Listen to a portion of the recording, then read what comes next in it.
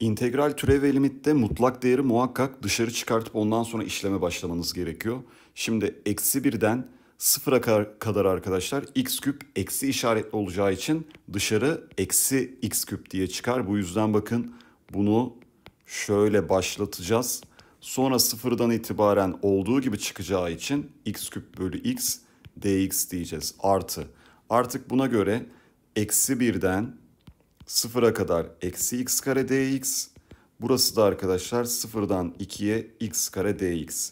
Şimdi eksi x karenin integrali eksi x küp bölü 3. 0 eksi 1. 0 eksi eksi artı 1 bölü 3 oldu. Artı x küp bölü 3 çıktı bunun da integrali. Şunu sileyim. Böylece oraya da 2'ye 0 yazacağız. Bu da arkadaşlar ne olarak çıkacak? 8 bölü 3 eksi 0. Yani burası 8 bölü 3 geldi. Burası da eksi 1 bölü 3 oldu. 8 bölü 3 eksi 1 bölü 3 toplamda 7 bölü 3 yaptı D şıkkı. Birisi diğerinin türevi mi ona bakmak lazım. Bakın x küp eksi 3x'in türevi 3x kare eksi 3. Zaten burada 3x kare eksi 3'ün 4 katı var. O zaman bu 4 katı dışarı alalım. 0,2 x küp eksi 3x çarpı 3x kare eksi 3 dx diyelim. Haliyle buraya u dersek burası arkadaşlar gördüğünüz gibi du olacaktır. Bundan dolayı integral sınırlara müdahale etmiyorum şu an. u du nasıl çıkar dışarı arkadaşlar? u kare bölü 2. u dediğimiz neydi? x küp eksi 3x. Yazıyorum artık. Buradan dışarı çıkarken sınırlara müdahale etmemiştim. Şimdi sınırları olduğu gibi yazabilirim. Sıfırdan 2'ye en başta bir 4 kat sayısı duruyor. Artık 2'nin kübü 8, eksi 6, diğer taraftan direkt 0 gelecek. 2 çarpı 4'ten 8 olacak cevap B şıkkı. Bu arada şunu söyleyeyim.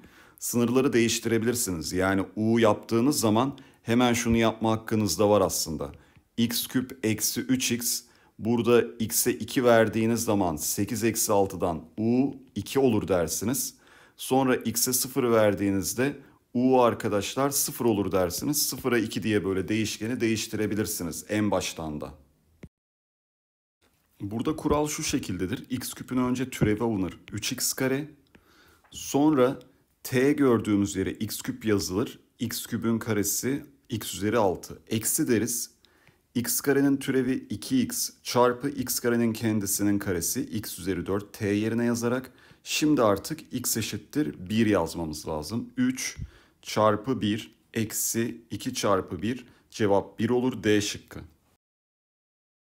u x kare eksi 3x artı 2 dönüşümü yaparsak hemen diferansiyelini aldığımız zaman her iki tarafın du eşittir 2x eksi 3 dx olacaktır arkadaşlar. Bir de x'e 0 verdiğimiz zaman 0, 0 buradan u 2 olur. x eşittir 0 için u'nun 2 olduğunu gördük. x eşittir 2 için de 4 eksi 6 artı 2'den yine gördüğünüz gibi x'e 2 verdiğimizde u da 0 olmuş oldu. Artık integral 0, 2, 2x eksi 3 dx du zaten ve burası da u üzeri 5. u üzeri 5 du sıfırdan 2'ye oldu arkadaşlar. Cevabımız B şıkkı. Bu soru belirli integralde önemli. Özellikle alan hesabı yaparken bunu kullanmanız gerekecek. ÖSYM'de soruyor. Şimdi bunlarda arkadaşlar verilene benzetmek lazım. Yani verilen fx. Bize sorulansa f 2x eksi 5. Yapacağımız iş 2x eksi 5'e u demek olacak. Böylece 2dx eşittir. du olur. Haliyle arkadaşlar aynı zamanda x'e 5 verdiğimizde bakın u 5 oluyor. u x'e 8 verdiğimizde u 11 oluyor. Demek ki 11'den 5'e diye başlayacak böylece. Sonra arkadaşlar burası fu olacak. Dikkat edin dx du bölü 2'ye eşit. Bu yüzden burası 1 bölü 2 olur. Şimdi burada artık şunu söyleyebiliriz. 1 bölü 2 fu du olmuş oldu. Artık 1 bölü 2 11 5 bu u'lar tekrardan x olur. fx dx diye.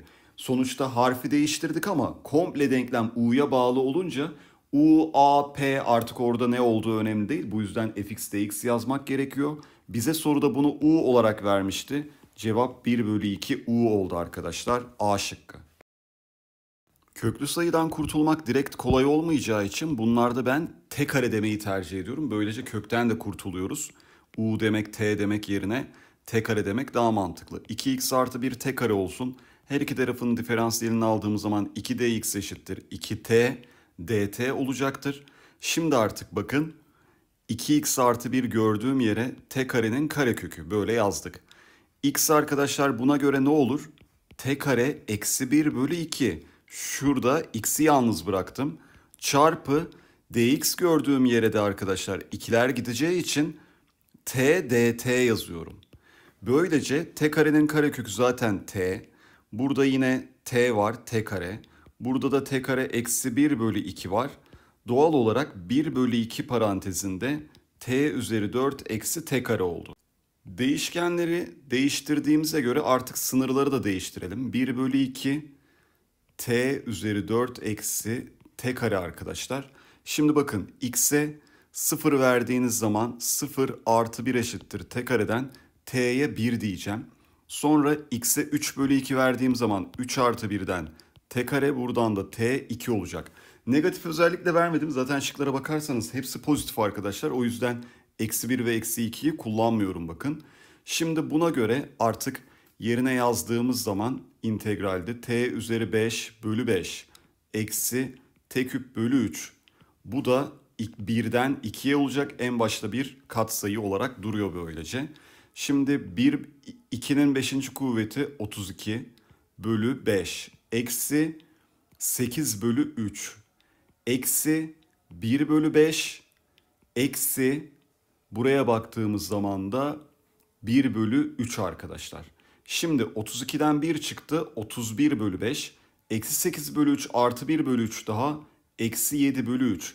En baştaki 1 bölü 2 katsayısını unutmayalım o en başta hep duruyor. Şimdi buna göre 31 payda eşitlediğimiz zaman 93 eksi 35 bölü 15. Bir de 2'ye böleceğiz en sonunda. 93 eksi 35 58 bölü 30 2'ye böldüğümüzde 29 bölü 15 E şıkkı. Türev artan olduğunda arkadaşlar fonksiyon pozitif işaretlidir. Fonksiyon azalan olduğunda negatif işaretlidir. Bu yüzden 1 ile 7 aralığında 1'den 4'e kadar fonksiyonun türevi olduğu gibi çıkar. Çünkü artan fonksiyon 4'ten 7'ye kadar da arkadaşlar azalan olduğu için eksi diye çıkar. Bu şekilde halletmiş olduk. Bir de fonksiyonun türevinin integrali alındığı zaman burada artık bunun hemen kendisi olarak çıkacağını unutmayın. Belirsiz integral yani burada sayılar yoksa c diye olur. Belirli integral ise c'yi yazmazsınız ama artık fx olarak çıktığını bilmek lazım. Her seferinde burada u ve du yapmaya gerek yok vakit kaybı olur. Bundan dolayı fx diye çıkar 1'den 4'e yine fx diye çıkar 4'ten 7'ye. Şu an artık f4 eksi f1 diyeceğiz. Eksi f7 eksi f4. Böylece eksi eksiden 2f4 sonra eksi f1 eksi f7 diyebiliriz. f4 arkadaşlar 5 2 ile çarptığımızda 10 f1 1 f7'de 1 haliyle cevap 8 oldu E şıkkı. Fonksiyonun bakın diferansiyel alınmış sonra integral alınmış. Bu yüzden ne olacak? Aslında bunlar birbirini götürür. F türev, f'in tersi x birden eksi 1'e olur arkadaşlar. Artık o zaman bu da ne demektir? F'in tersi 1 eksi f'in tersi eksi 1 demektir. Şimdi öbür tarafa atarsak 2x eksi 1 normal fonksiyon yorumu artık burada. F'in tersi x artı 1 bölü 2. İçeriği 1 yapmak için x'e 1 vermemiz lazım. O zaman f'in tersi 1 eşit oldu 1'e. Burası gitti. Sonra bakın içerinin eksi 1 olması için x'e eksi 3 vermemiz lazım. Eksi 3 çarpı 2 eksi 6 eksi 1 daha eksi 7 olacak. Bir de önünde eksi var. Böylece 1 artı 7'den 8 A şıkkı oldu. Belirli integral bir sayı olarak çıkar. Sabit sayı sabit sayının arkadaşlar tabii ki türevi nedir? Sıfırdır. O yüzden buradan hemen kurtulduk. f türev x 2x'e eşit. Böylece 1'den 2'ye x çarpı x dx oldu. İntegral 1'den 2'ye 2x karenin integrali 2x üzeri 3 bölü 3. 1'den 2'ye haliyle 8 çarpı 2'den 16 bölü 3 eksi 2 bölü 3'tür arkadaşlar. 14 bölü 3 C şıkkı. fx çarpı f türev x dx hemen buraya u derseniz bu du olur. Böylece gördüğünüz gibi u du'nun integrali arkadaşlar u kare bölü 2'dir. Artık yerine yazabiliriz. f türev artık fx'e geçmiş olduk. Böylece oradan fx'in parantez karesi bölü 2 eksi 3'ten 1'e. Şimdi f1'in karesi bölü 2 eksi f eksi 3'ün karesi bölü 2. F1 arkadaşlar 3 yerine yazdığımız zaman 9 bölü 2. F eksi 3 gördüğünüz gibi eksi 1 karesi 1 bölü 2 olacak. Çıkardığımız zaman 8 bölü 2'den 4 oldu B şıkkı. İntegral arkadaşlar aynı zamanda eğrinin altında kalan alanların toplamıdır. Ve şunu söyleriz. Bir integralde x eksenin altında kalan kısımlar şuradaki gibi bakın negatiftir. İntegralin değeri negatif çıkar. Alan normalde negatif olmaz ama buranın integrali eksi değerlidir. Yine burasının integrali artı değerlidir. Şimdi bu bir parabol denklemi olduğu için bu parabolün denklemini x'e 0 verdiğim zaman zaten y 0 sıfıra sıfırdan geçiyor. x parantezinde 3x eksi 2 bakın şimdi. Köklerden biri 0, biri 2 bölü 3. Kolları yukarı doğru olan bir parabol. Şimdi bu integralde diyelim biz şöyle bir şey yaptık. Bir A noktasıyla B noktası aldık. Şuralarda pozitiftir integral, burada pozitiftir, burada negatiftir. Madem o zaman bu soruda bizden negatif olmasını istiyor, ben ne yaparım arkadaşlar? Sıfırdan başlarım, şuraya kadar giderim. Çünkü burası negatif olduğu için tamamen integralin en küçük değerini söyler. Biraz daha ilerlersem pozitif geçeceği için pozitif ile negatif birbirini biraz götürür, integralin değeri büyür. Demek ki integralin değerinin en küçük olmasını sağlayan yani negatif olduğu tek bölge olan bu bölge olmasını sağlayan değerler sıfırdan 2 bölü 3'eymiş arkadaşlar. Bu yüzden cevap B şıkkı önemli bir yorumdu. Verilen bilgileri önce bir görelim. 1. F1 arkadaşlar 3'tür. Bunu söylemiş olalım. 2. Ekstremum noktası olduğu için f türev 1 sıfırdır. Sonra arkadaşlar f türev x fonksiyonuna bakın f türev x'in üzerinden çizilen teğet. Yani bir f türev var. Buna böyle teğet çiziyoruz. Hangi noktadan? İki absisli noktadan. Doğrunun adı ne? y 3x eksi 1. O zaman bak burada hemen şunu da görmeniz lazım. y yerine x yerine pardon 2 yazdığımızda y kaç oluyor? 5. Demek ki bu nokta 2'ye 5'miş. f türev 2 5 demektir. Aynı zamanda bu türevin türevi ikinci türevde gördüğünüz gibi teğetin eğimine eşittir 3. Bu kısmın anlaşılması lazım. Bir daha söylüyorum bakın. Teğet çizdiğimiz için türevin türevi olan 2 3'e eşit doğrunun eğimi. Aynı zamanda üzerindeki bir nokta denklemi sağlayacağı için 3 kere 2 6 eksi 1'den 5 yani 2'ye 5 noktası olmuş oluyor. F türev 2'de 5 oluyor. Bunları kullanacağız. Şimdi gelelim 1 artı kök x kök x'e.